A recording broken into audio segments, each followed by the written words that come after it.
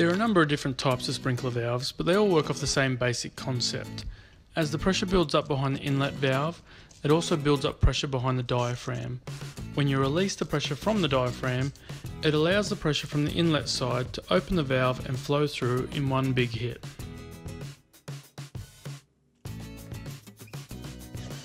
Once I had it all apart, the first step was to make sure that the double-sided screw fitting fit in. The next step was to jam some toothpicks in the inlet holes and then fill the whole area with epoxy.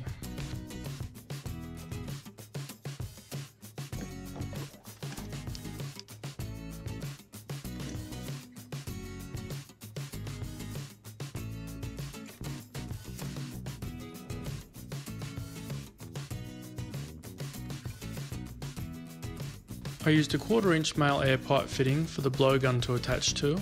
I then used the leftover epoxy to seal it up and make it fully airtight.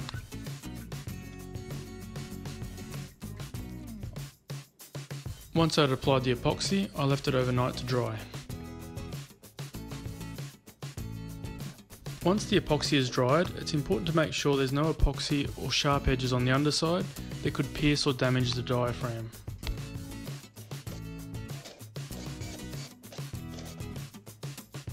And that's pretty much it. It's good to go.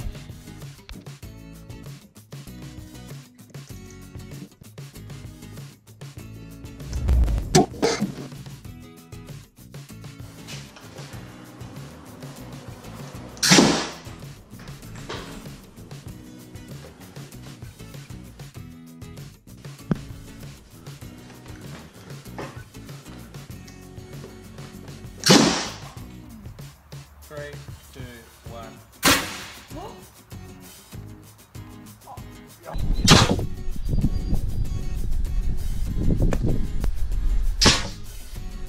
What is that? Whoa, that went to the other side of the creek.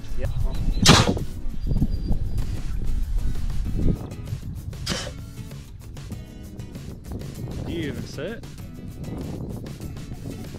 Anyway, thanks for watching. Cheers.